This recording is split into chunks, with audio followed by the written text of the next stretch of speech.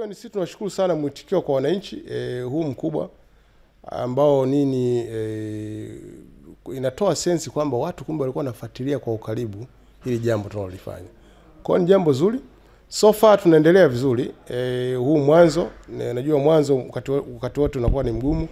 Kuna kuji, kuna wakati watu wanaingia da website hawaioni. Kuna kuna vitu tunaviperfect. Baadaye tutakuja tutatulia tu. Tutakuwa stable, tutaendelea vizuri. Especially upande wa ticketing system. Payment system nafikia tuna shida kubwa. Lakini kwenye ticketing system ile integration ile nafikiri bado kuna vitu ambao wana sort it out na na hawa supplier kwa maana ya wakandarasi wa system wanafanya kazi. Jana nimekuwa nao nikao mpaka usiku wa manane. Kulikuwa na swala la ticket ni, ni siti moja watu watu, watu wawili wanabuku. Na vitu tumelimaliza jana usiku. Kwa leo sidhani kama watu wata experience. Lakini kuna vitu tuna tumeshajiwekea. Tulikuwa na vitu kama 30 na na mbili. Tumeshavifanyia kazi, tumebakia vitu kama kama kumi eh, kwenye system zetu. Kwa tunaendelea na baadaye system itatulia. Na tunaangalia kwamba trend, unajua ile trend inaweza kuchukua watu zaidi ya elfu moja na kwa hiyo unaweza kukuta kwa mfano e, ile juzi tulikuwa na almost 99.9% occupancy, yani ile ile wa, wa, kuna sehemu wakati mwingine inaweza ikawa kwenye 60 70 ya lakini tuna, tunaangalia trend. Tunaamini kabisa kwamba tutakapoanza kwenda Dodoma e, ile stretch ile e, watu watakuwa wengi zaidi. Kwa hiyo tuta- tuta- tuta- kutokana na demand, kwa sababu tuwezi kuongeza trend tu bila bila e, kuona ile trend kwamba watu wana wana wana, wana, uhitaji huo.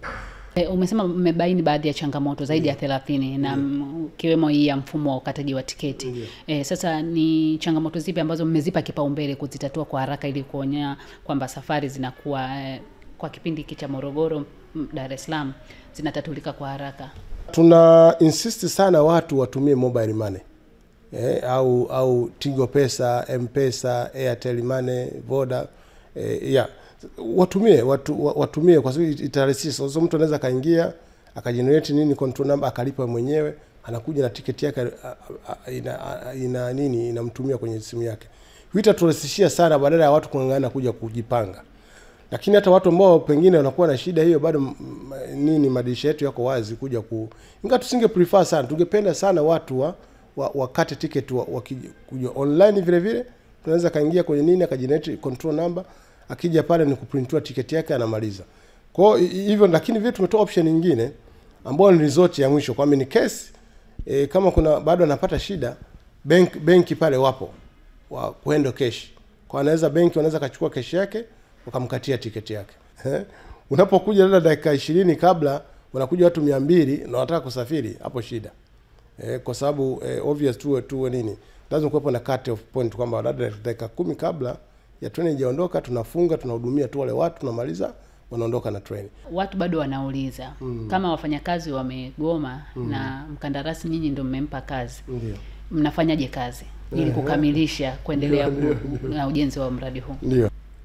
E, sisi TRC tuna mkataba na mkandarasi mm. na tuna katika mkataba kila mmoja anajua majukumu yake.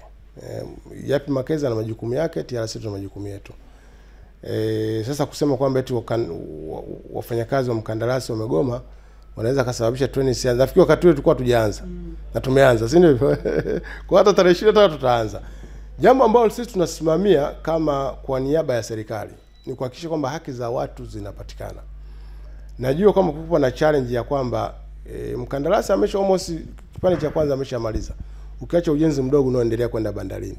Sasa huyu ni mfanyabiashara, huwezi kusema kwamba ataweza ku ata, ata maintain wafanyakazi kama ilivyokuwa mwanzo kwamba wafanyakazi elfu kumi si elfu saba awe nao, haiwezekani. Amemaliza kazi, maanake amemaliza kazi, ndio hivyo, ndio maana maana ya project, uko na wafanyakazi wa project, lakini obvious kuna haki zao nafikiri ndio kinachozungumziwa. Kwa mtu mwingine anasema "Ah, okay tumelipwa lakini imeenda NSSF pone pension yangu sijaikuta. Mm. hiyo ni vitu ambavyo tutahakikisha wafanyakazi na nafikiri ni, hata last time nilizungumza na na, na, na, na viongozi kwamba tutahakikisha wafanyakazi wote haki zao wamepata